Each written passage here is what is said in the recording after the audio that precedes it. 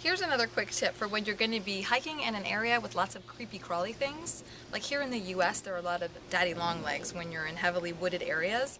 I always travel with my rock climbing gloves. We're not going to be doing a lot of rock climbing today, but I like to put them on because they put another barrier between me and the boulders that are going to be around us in this area. So when I put my hand down, I'm not totally thinking about putting my hand on a spider. I'm not the biggest fan of spiders, and so it's just nice to have a little extra something between me and anything with eight legs.